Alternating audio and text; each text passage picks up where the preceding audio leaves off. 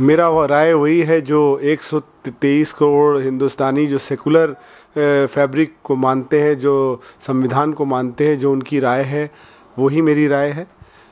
और आप देख रहे हैं कि सारा मुल्क जो है, जल रहा है, लोग सड़कों पे आ गए हैं, लोग सीए और एनआरसी को एनआरसी को बॉयकॉट कर रहे हैं। तो ये डिमांड हर हिंदुस्तानी, जो सेकुलर हिंदुस्तान को मानने वाला है, सबका यही डिमांड है। इससे इससे क्या नुकसान होगा माइनॉरिटी को? ये पूरी साजिश जो है, ये साजिश है कि मुसलमानों को किस तरह से इस मुल्क में कमज़ोर किया जाए, उसके लिए जो है, ये एनआरसी को पहले लागू किया गया। और जब एनआरसी उल्टा पड़ गया। असम कोर्ट के को मद्देनज़र रखते हुए असम में जो एनआरसी लागू किया गया 19 लाख लोग जब बाद गए, जब उस पर पता चला कि पचहत्तर फ़ीसदी लोग हिंदू हैं तो उनको अकोमोडेट करने के लिए ये आफ्टर थाट दिया गया कि सीएबी को लाया गया, जो आज के दिन में सी हो गया। कि बाकी हम सबको सिटीज़नशिप देंगे, मुसलमानों को उसमें नहीं देंगे। तो हम लोगों का मानना है आप सबको दीजिए। Irrespective of any religion caste and creed जो कि कॉन्स्टिट्यूशन कहता है, जो आर्टिकल 14 कहता है, उसके हिसाब से अगर आप सबको देंगे तो किसी को कोई परेशानी नहीं है। लेकिन आप पर्टिकुलरली विंडिक्टिव माइंडसेट के सामने रखते हुए, आप एक पर्टिकुलर कम्युनिटी को ओमिट करके, आप बाकी सबको देंगे और एक को नहीं देंगे ऑब्जेक्शन लोगों का इसी पे है। जब से सी ए आया हुआ है तब से प्रोटेस्ट देख रहे पूरे हिंदुस्तान में चलता जा रहा है। ये प्रोटेस्ट कब तक चलेगा? ये तो हिंदुस्तान की आवाम ठीक करेगी कि प्रोटेस्ट कब तक चलेगा। जैसा कि लोग कह रहे हैं और हम लोग जो हम लोगों ने अहद लिया है कि जब तक सी और एन आर सी को जो है वापस नहीं लिया जाएगा लोग जो है प्रदर्शन करते रहेंगे इसके खिलाफ आवाज़ उठा उठाते रहेंगे। तो आप सरकार को क्या कहना चाहते हैं मोदी सरकार को इसके बारे में? देखिए, मोदी सरकार को मैं कुछ नहीं कहना चाहता हूँ, उनसे हम लोगों को कोई ज़्यादा उम्मीद नहीं है। और मैं इतना ही कहूँगा कि मोदी जी, आप सिर्फ़ हिंदुओं के, सिखों के और जैन के और पारसी के प्रधानमंत्री नहीं हैं। आप 123 करोड़ हिंदुस्तानी के प्रधानमंत्री है।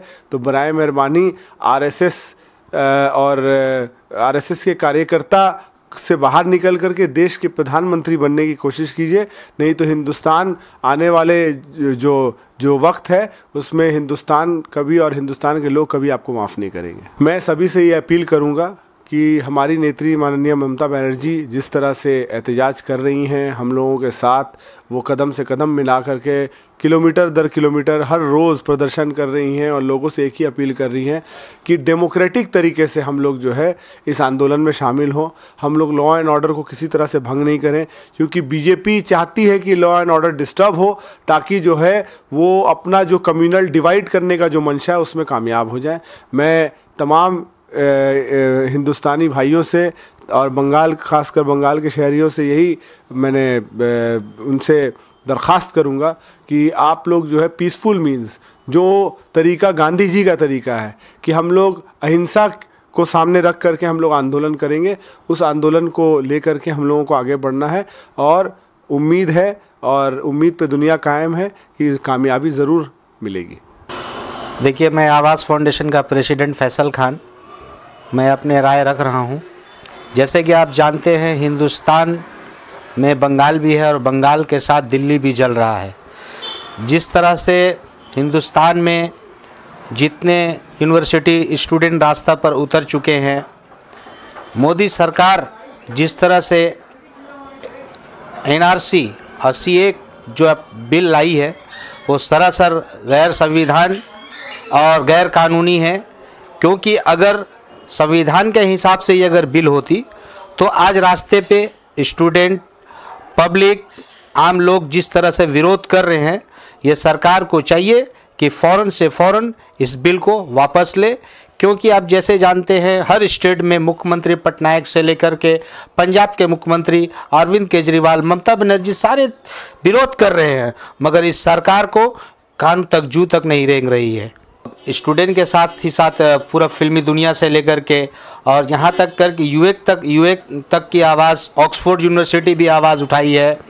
और ये जो आरएसएस से जुड़ा हुआ ये जो बिल है ये मोदी सरकार का काम नहीं, ये आरएसएस का बिल लाया हुआ है।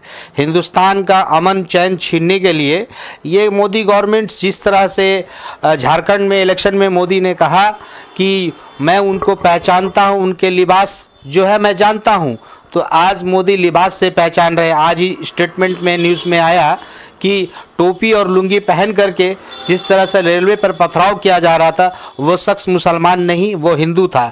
तो मोदी उसे जस्टिफाइज कैसे करेंगे? हिंदू नहीं सुनते हैं कि आरएसएस का कोई कार्यकर्ता था।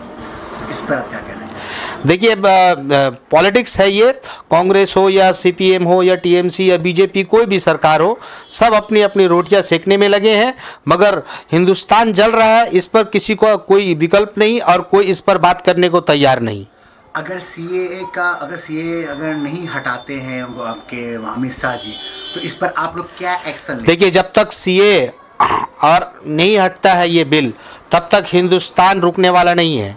और यह आने वाले जनरेशन जो स्टूडेंट है, जो कल ये जो देश चलाएँगे, जिस तरह से उन पर लाठी चार्ज हो रहा है, आने वाले वक्त में उनको सरकार को समझ में आएगा और ये सर नाफरमानी सरकार को उखाड़ के इस स्टूडेंट लोग फेंक सकते हैं।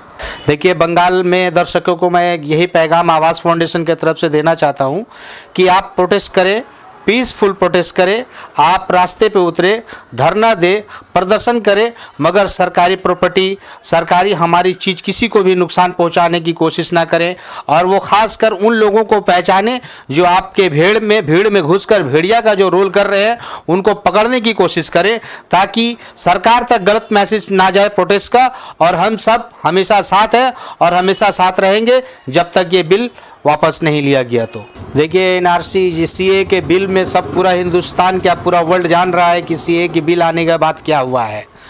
तो अगर सीए के बाद अगर एनआरसी बिल आता है तो इससे बड़ा आंदोलन होगा और लोग आपस में हिंदू, मुस्लिम बन के बंटवारा हो जाएगा।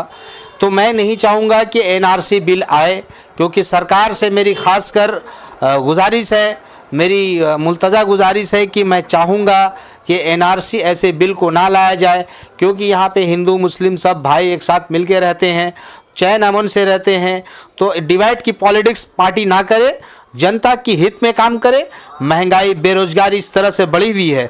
उसको मद्देनज़र रखते हुए अगर काम सरकार करेगी तो आने वाले वक्त में सरकार बनी रहेगी।